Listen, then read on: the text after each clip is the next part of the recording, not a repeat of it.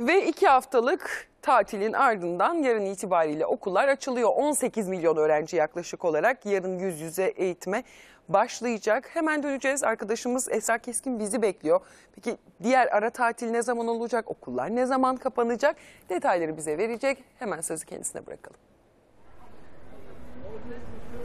Mehmet Fükay iyi yayınlar öncelikle. Öğrenciler için iki haftalık tatilin sonuna geldik. Artık yarın yeni bir döneme daha giriş yapıyor olacaklar. Yanında da konuyla alakalı eğitimcimiz var Canset Yıldız. Asıl detayları da ondan öğreneceğiz. Öncelikle yayınımıza hoş geldiniz. Teşekkür ederim. Hoş bulduk. Nasıl değerlendiriyorsunuz bu iki haftalık tatil ve öğrenciler tekrar yeniden eğitime başlayacaklar? Evet, e, iki haftalık tatilin ilk haftası e, kar yağışı sebebiyle belki yetişkinlerin çok hoşuna gitmedi ama öğrenciler kar keyfini çıkardılar. E, ve tabii ki de tatillerde bizim sürekli olarak öğrencilere söylediğimiz bir şey var. E, bir yandan dinlensinler, eğlensinler, kitap okuma alışkanlıklarına devam etsinler ama bir yandan da öğrencilerimiz derslerinden soğumasınlar, tekrarlarını yapsınlar istiyoruz. Bu şekilde tatillerini geçirmiş olan öğrenciler ikinci döneme çok daha hazırlıklı bir şekilde başlayacaklar. Peki bir sonraki tatil nasıl olacak? Sınavları da bir hatırlatalım isterseniz. Tabii ki de e, ikinci dönem yarın itibariyle başlıyor fakat ikinci dönemde de bir ara tatilimiz olacak. 11-15 Nisan haftasında olacak E, ve aslında bu dönem sınava hazırlık öğrenciler için çok önemli. Çünkü artık ikinci dönemi itibariyle hele ki ara tatilden sonra itibariyle öğrenciler son düzlüğe geçmiş olacaklar. Sınava hazırlık olan öğrenciler. Ve 17 Haziran'da karneleri alacaklar. 18 Haziran'da TYT ve 19 Haziran'da ise AYT sınavları olacak lise öğrencileri. 5 Haziran'da ise liselere giriş sınavı olacak 8. sınıf öğrencileri için.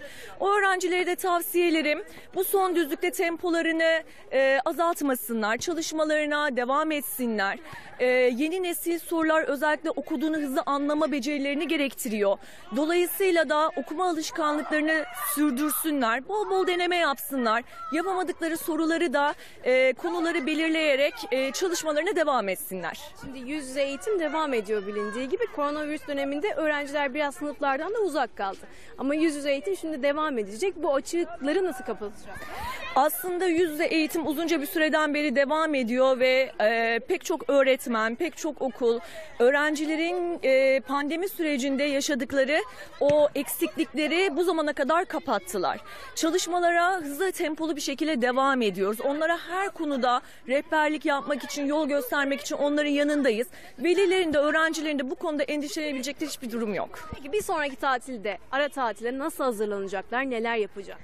Bir sonraki ara tatilde yapmaları gereken şey e, esasında e, bol bol deneme çözmek olsun. Bunlar sınava hazırlık öğrencileri için geçerli olan durum tabii ki de. Ara sınıf öğrencilerimiz de bol bol kitap okusunlar ve dinlensinler istiyoruz. Tabii ki de sınava hazırlık öğrenciler dinlenmeyi biraz daha ertelemeleri gerekecek. Onlar bol bol döneme çözecekler, yapamadıklarını soracaklar.